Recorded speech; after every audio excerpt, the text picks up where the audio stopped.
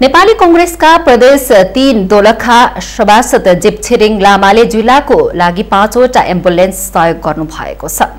राजधानीमा आइतबार एक कार्यक्रमका बीच सभासद लामाले आफ्ना बाबुआमाको नाममा स्थापित तोङमा दाडोमा दाडोमा लामा स्मृति प्रतिष्ठानको तर्फबाट दोलखा जिल्लाको लागि पाँचवटा एम्बुलेन्स सहयोग गर्नुभएको।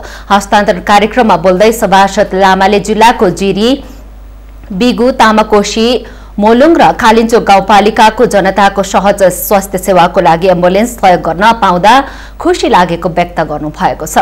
कार्यक्रममा कंग्रेस केन्द्रीय सदस्य तथा पूर्व मन्त्री विमलेन्द्र निधिले देशको अवस्थाप्रति चिन्ता व्यक्त गर्नुभएको छ। वर्तमान सरकारबाट मुलुकमा विकास र समृद्धि नआउने उहाँको भनाइ थियो।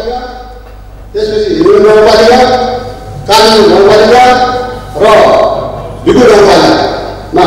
लागि दिन र म साथीहरूलाई यो के भन्न चाहन्छु भने कुनै पनि सामाजिक हिसाबले चाहिँ यो कार्यक्रम गर्न लाग्छौँ कुनै दुर्घटना होला कोही होला कोही के होला त्यसलाई एकदम सहज रूपमा चाहिँ सेवा गर्ने निमित्त चाहिँ निष्पक्ष रूपमा गर्नु सोही अवसरमा नेता निधिले सम्बन्धित नगर र गाउँपालिकाका अध्यक्षले एम्बुलेन्स वितरणको वितरण गर्दै सम्बन्धित चालकलाई साँचो हस्तान्तरण गर्नुभयो।